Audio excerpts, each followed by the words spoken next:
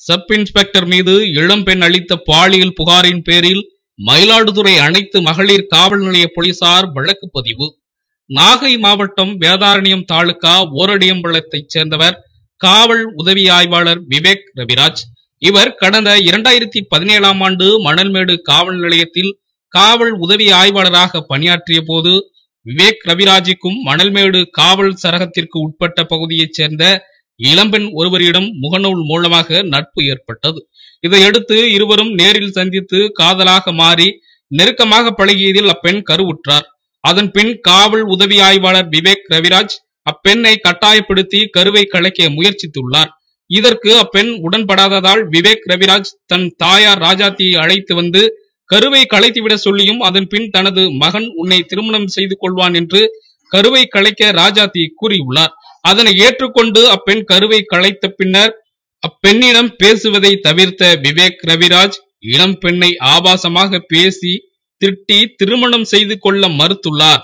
இது குறித்து காவல்துறை உயரதிகாரிகளிடம் புகார் அளித்தும் நடவடிக்கை எடுக்கப்படாததால் பாதிக்கப்பட்ட பெண் விவேக் ரவிராஜிடம் நெருக்கமாக இருந்த போட்டோ விவேக் ரவிராஜ் மிரட்டும் ஆடியோவை சமூக வலைதளங்களில் பரவி பரபரப்பை ஏற்படுத்தியது.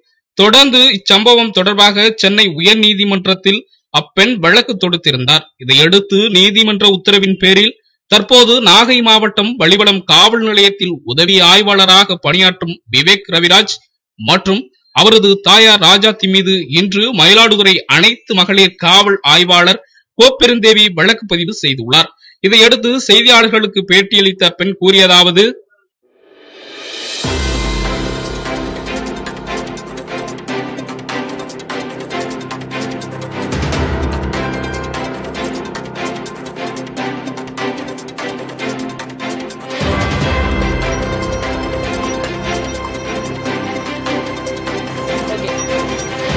பார்த்தீங்கன்னா நாகப்பட்டினம் வலிவலம் ஸ்டேஷனில் வந்து எஸ்ஐ விவேக் ரவிராஜ் வந்து இப்போ அங்கே தான் ஒர்க் பண்ணுறாரு ஸோ அவர் மேலே நான் கம்ப்ளைண்ட் கொடுத்து கிட்டத்தட்ட பதினேழு மாதம் வந்து தாண்டிடுச்சு. அவர் வந்து என்னை திருமணம் பண்ணிக்கிறதா வந்து பார்த்தீங்கன்னா என்னை வந்து ஏமாற்றி நான் அபார்ஷன் பண்ண வச்சு எல்லாம் நிறைய பண்ணியிருக்காரு மோசடி. மேற்கொண்டு எனக்கு கொலை மிரட்டெல்லாம் விடுறாரு.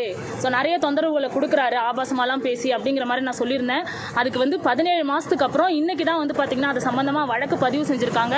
அதுவும் எப்படி பதிவு செஞ்சாங்க அப்படின்னா நான் மெஜிஸ்ட்ரேட் கோர்ட் மயிலாடுதுறையில் கொடுத்து அதை வந்து இவங்க என்கொயரிங்கிற பேரில் எல்லாமே வந்து இன்ஸ்பெக்டர் வேலுதேவிங்கிறவங்க க்ளோஸ் பண்ணி அவர் மேலே நடவடிக்கை எடுக்க மாட்டேன்னு சொல்லி இந்த கேஸை ஒன்றுமே இல்லாமல் பண்ணாங்க. அதை நம்ம உயர்நீதிமன்றத்தில் வந்து பார்த்திங்கன்னா மேல்முறையீடு பண்ணி இப்போ அவர் மேலே வந்து நடவடிக்கை எடுக்கணும் அப்படின்னு சொல்லிட்டு நான் டைரக்ஷன் வாங்கியிருக்கேன். அதன்படி வந்து இப்போ அவர் மேலே வந்து அஞ்சு பிரிவுலையும் அவங்க அம்மா பேரில் அம்மா ராஜாத்தி அவங்க பேர் அவங்க பேரில் வந்து பார்த்தீங்கன்னா ரெண்டு செக்ஷன்லேயும் வந்து பார்த்தீங்கன்னா இப்போதைக்கு எஃப்ஐஆர் போட்டு கொடுத்துருக்காங்க. மேற்கொண்டு இன்வெஸ்டிகேஷன் பண்ணி அதுக்கப்புறம் மேட் அவுட் ஆன செக்ஷன்ஸையும் போடுறேன் அப்படின்னு சொல்லி சொல்லியிருக்காங்க. இப்போதைக்கு அவர் வந்து சீட்டிங் கேஸு அப்புறம் வந்து பார்த்தீங்கன்னா அவர் வந்து ஃப்ராட் பண்ணது அவர் திட்டினது ஆபாசமாக ப்ளஸ் வந்து கொலை மிரட்டல் கொடுத்தது. இது சம்மந்தமாக அப்புறம் குற்ற உடந்தை. இதை மட்டும் தான் அவங்க போட்டிருக்காங்களே தவிர மேஜரான இஷ்யூ ரெண்டு பேருக்கும் என்ன அப்படிங்கிறதுக்கான ஒரு செக்ஷன் வந்து இப்போ மேட் அவுட் பண்ணலை. என்கொயரிக்கு அப்புறம் நாங்கள் கண்டிப்பாக போடுவோம் அப்படின்னு சொல்லி சொல்லியிருக்காங்க. அப்படி இது சம்மந்தமாக அவங்க மேற்கொண்டு போடலை அப்படின்னா இதையும் உயர்நீதிமன்றத்தில் வந்து நாங்கள் மேல்முறையீடு பண்ணி கண்டிப்பாக வந்து பார்த்தீங்கன்னா அந்த செக்ஷன்ஸ் நான் போட வைப்பேன். இருந்தாலும் இவங்க இவ்வளோ நாள் அலட்சியமாக இருந்து நான் வந்து இதுக்காக ஒரு பேர்டன் எடுத்து நான் பண்ணியிருக்கேன் ஸோ ரெண்டு மூணு நாள் முன்னாடியே அவங்க எஃப்ஐஆர் போடுறேன்னு நாலஞ்சு நாளாகவே வர சொல்லியிருந்தாங்க. அப்போ வந்து பார்த்தீங்கன்னா நான் வந்துட்டு போகும்போது ரெண்டு நாள் ஒரு நாள் வந்து பார்த்தீங்கன்னா மகா கணபதி அப்படிங்கிற எங்கள் ஊரில் ஒரு ஆள் இருக்காரு விவேக் ரவிராஜ்க்கு ஃபேவரான ஒரு ஆள் ஏடிஎம்கே இவர் போன மாதமே எனக்கு வந்து பார்த்தீங்கன்னா ஒரு சில கொலை மிரட்டல்கள் கொடுக்குறாருன்னு ஒரு ரெண்டு பேர் அழகேசன் மகா கணபதினு சொல்லியிருந்தேன். அவங்க வந்து பார்த்தீங்கன்னா ஒரு மூணு நாள் முன்னாடி நான் வந்துட்டு போகும்போது திருவனந்தூர் கிட்ட என்னை வந்து காரை விட்டு மோதுறதுக்கு அவர் வந்தார். திரும்ப மறுநாளும் நான் வந்தேன். அன்னைக்கு வந்து பார்த்தீங்கன்னா ஒரு டாடா ஏசி கரெக்டாக அதே ஸ்பாட்டில் வந்து திரும்பவும் மோதுறதுக்கு வந்து வந்தாங்க. ஸோ இதனால வந்து இது என் உயிருக்கு வந்து இதுக்கப்புறம் எந்த பாதிப்பு வேணால் வரலாம் எஃப்ஐஆர் போட்டதுக்கப்புறம் ஸோ அதனால வந்து எனக்கு இதுக்கப்புறம் என்ன ஆனாலும் விவேக் ரவிராஜ் ப்ளஸ் அவரை சேர்ந்தவங்க மட்டும்தான் இதில் வந்து காரணம்.